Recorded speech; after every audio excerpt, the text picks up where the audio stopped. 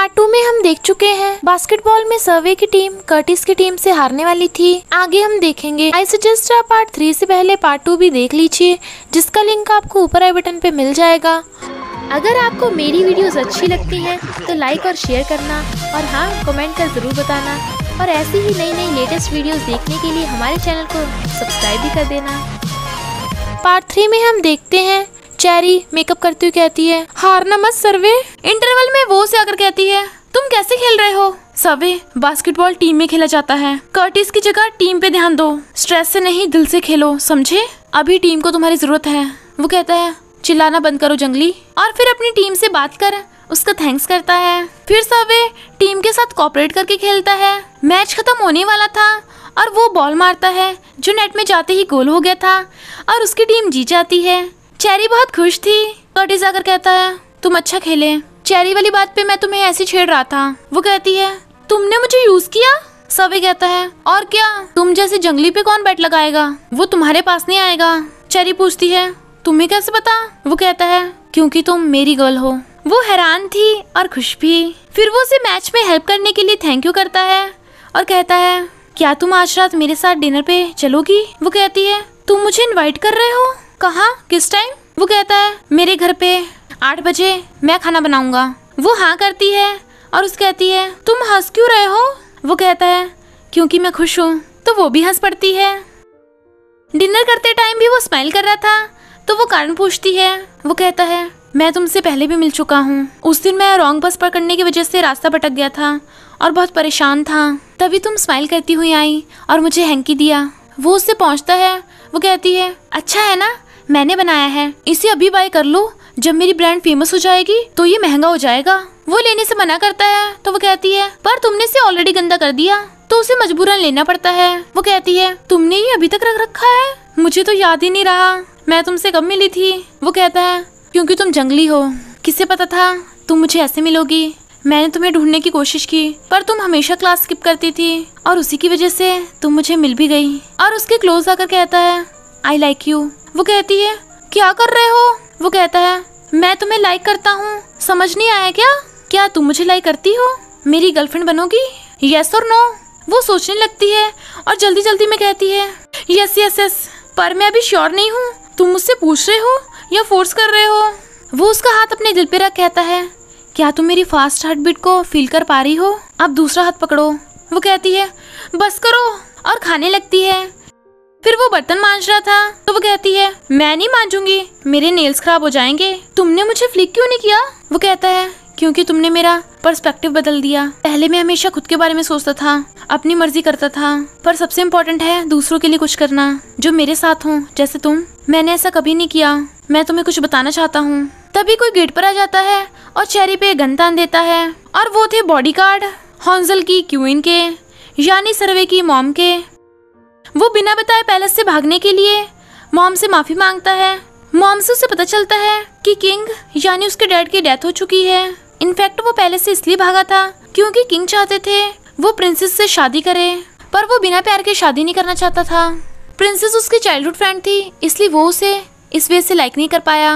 इधर princess cherry को ऊपर बैठने के लिए कहती है। चेरी माफ़ी मांगती है तो वो कहती है इट्स ओके okay. क्या तुम प्रिंस की काफ़ी क्लोज हो? चेरी कहती है नहीं, बस कुछ टाइम से ही वो कहती है, मैं उसे कई सालों से जानती हूँ, पर वो मुझे वैसे नहीं देखता जैसे तुम्हें देखता है। क्या तुम उसे लव करती हो? चेरी कुछ नहीं कहती तो वो कहती है, मैं प्रिंस को लव करती हूँ। चेरी कहती है, मैं प्रिंस को लव नहीं करती, मैं बस सवे को लव करती हूँ। इधर मॉम उसे कहती है, तुम्हें अब पैलेस में वापस आकर किंग बनना होगा। वो थोड़ा टाइम माँगता है ताकि चेरी की हॉन्जल डॉक्यूमेंट्री में हेल्प कर सके। तो मॉम चेरी को डॉक्यूमेंट्री के लिए बेस्ट विशेष देती हैं। प्रिंस के जाने की बात सुन चेरी सैड हो जाती है, वो उसे गले लगाता है तो वो कहती है, ऐसा मत करो, प्रिंस। वो कहता है, मुझे ऐसे मत बुलाओ, मैं अब भी तुम्हारा सर्वे हूँ, मैं तुम्हें पकड़ना चाहता हूँ। वो कहती है हाँ तुम पकड़ सकते हो। सर्वे कहता है आई लव यू चेरी। फिर वो उसे बॉक्स के अंदर रखा, किंग का क्राउन दिखाता है और कहता है, मैं ये वहाँ से ले आया था, क्योंकि बहुत सारे लोग इसे पाने के लिए मारे गए थे। वो कहती है तो तुम्हें अब वापस जाकर प्रिंसेस से शादी करनी होगी? मैं समझ सकती हूँ। जितना टाइम भी हम साथ में हैं, खुशी से बिताएँगे। रात में वो उसके कपड़े पहन कहती है। तुम्हारे कपड़े मुझे अच्छे नहीं लग रहे। वो उसे अपनी गोद में गिरा लेता है और किस करने लगता है, पर रुक जाता है। वो कहती है, शर्मा क्यों रहे हो? हम कौन सा पहली बार कर रहे हैं? वो कहता है, रियल किस तो पहली बार है ना? तुमने मुझे अभी तक नहीं बताया। तुम मेरे लिए क्या फील करती हो? वो कहती है सेम वैसा ही जैसे तुम मेरे लिए फील करते हो। वो कहता है अच्छा होगा, अगर आज रात हम दोनों अच्छे बच्चों की तरह बने, वो कहती है, क्या कहा?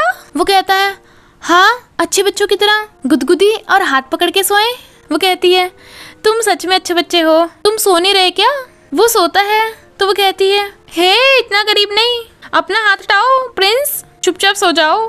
क्वीन कहती है रिस्पॉन्सिबिलिटी के होते हुए प्रिंस और उस लड़की का लव इम्पॉसिबल है। नोट्स बनाने के लिए वो साथ में थे तो फ्रेंड खुश हो रही थी क्योंकि वो इतने सारे हॉट लड़कों के बीच में थी। तभी वहाँ प्रिंसेस आती है। चेरी कहती है, ये हॉन्सल की प्रिंसेस है और सर्वे की फियांसे भी। वो सब कहते हैं प्रिंसेस फियांसे तो क्या सर्वे प्रिंस है?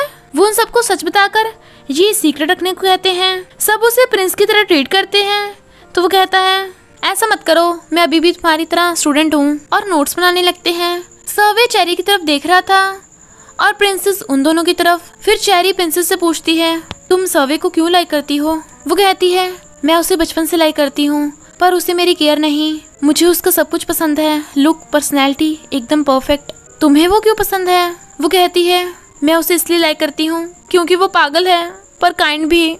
वो मुझे बहुत परेशान करता है, पर मेरी केयर भी करता है। वो हमेशा मुझे जंगली कहता है, पर मेरा साथ भी देता है। पर तुम चिंता मत करो। हम दोनों के बीच जो हुआ, मैं उसे सपना समझ लूँगी। प्रिंसेस कहती है, शायद तुम उसे बहुत प्यार करती हो। सब भी कंफ्यूज था कि वो ड्यूटी को चुने या लव को। तो ब्रायन कहता है, जो तुम्हारे लिए बेस्ट हो, उसे चुनो। जैसे लव नोट्स के लिए इंटरव्यू की ज़रूरत थी तो सर्वे इंटरव्यू देता है। वो चेरी को वहाँ से भेज देते हैं तो वो चली जाती है। सर्वे रेक्स को वीडियो का लास्ट क्लिप कट करके सेंड करने को कहता है। चेरी नोट्स प्रोफेसर को सबमिट कर देती है और पास होने की खुशखबरी सर्वे को सुनाती है। फिर वो उसका सारा सामान पैक देखती है। वो कहता है अच्छा होगा, हम साथ में रहें तो चलो साथ में भाग चलते हैं। तुम चलोगी? वो कहती है, तुम पहले भी यहाँ, पहले से भाग कर आए। और अब फिर, तुम हर चीज़ से नहीं भाग सकते। तुम्हें अपनी ड्यूटी से नहीं भागना चाहिए। और मुझे अपने करियर पे फोकस करना है। आज मैं तुमसे लास्ट बार मिलने आई हूँ। और जाने लगती है। वो कहता है, तुमने अपना डिसीज़न ले लिया। आइज़ बंद करो। तुम मुझे एयरपोर्ट जाते नहीं देख सकती हो ना? क्या मैं तुम्हें लास्ट पर किस कर सकता हूँ? और उसे किस करता है? दोनों रोते हुए गले लग जाते हैं। चेरी को सैड देख उसकी फ्रेंड उसे ज़बरदस्ती सर्वे के पास ले जाने लगती है और कहती है, हम एयरपोर्ट के लिए लेट होंगे, क्योंकि मैं हूँ फास्ट एंड फ्यूरियस सर्वे को सैड देख प्रिंसेस कहती है चेरी तुम्हें बहुत लव करती है। उसने मुझे सिखाया कि जब तुम किसी को प्यार करो तो बस उसे खुश रखो।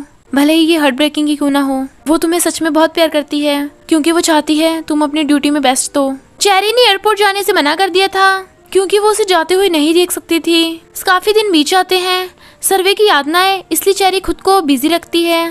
तभी कर्टिस आकर उसे रोज देने लगता है। वो मना करती है, पर वो ज़बरदस्ती देने लगा था और कहता है, तुम बस ले लो और अपनी फ्रेंड को दे दो। और कहना, वो बहुत क्यूट है। उसकी फ्रेंड की तो मानो लॉटरी ही लग गई थी। और एकदम रोज लेकर भाग लेती है। रेक्स चेरी को अपना लैपटॉप देता है, जिसमें सवे कहता है, तुम मुझे मिस करोगी, इसलिए मैंने ये वीडियो बनाया। मैंने तुम्हें बहुत परेशान किया था। सॉरी कि मैं तुम्हारे लिए कुछ नहीं कर पाया। आई लव यू मैं तुम्हें ये हमेशा बताना चाहता था। I love you Cherry. वो रोने लगी थी तो वो उसे हैंकी देता है। चेरी सवे को गले लगा लेती है और फिर कहती है, मुझे लगा तुम नहीं आओगे। वो कहता है, मैंने कहा था, मुझे हॉन्सल में सब कुछ ठीक करने में टाइम लगेगा। बस अभी किंग बनना बाकी रह गया। वो पूछती है, तुम किंग क्यों नहीं बने? वो कहता है किंग के पास उसकी क्वीन भी तो होनी चाहिए, तभी तो मैं वापस आया हूँ। क्या तुम मेरी क्वीन बनोगी? वो कहती है प्रिंसेस और तुम्हारी मॉम का क्या? वो कहता है, वो मेरे डिसीज़न को समझते हैं, और मॉम को तुम पसंद आई, पर मैं तुम्हें फोर्स नहीं करूँगा। वो कहती है, मैं घर जाके सोचूं? वो कहता है, नहीं, चेरी, क्या तुम मेरी क्वीन बनोगी? वो कहती है, अगर मैं हॉन्जल की क्वीन बनूं तो क्या फ़ैशन डिज़ाइनर भी बन पाऊँगी? सवे कहता है, ये बात थी अफकोर्स वो हाँ करती है तो वो कहता है, तुम मेरे लिए सबसे प्रीशियस हो। थैंक यू माई क्वीन और दोनों किस करते हैं, और इसी हैप्पी एंडिंग के साथ ड्रामा का एंड हो जाता है।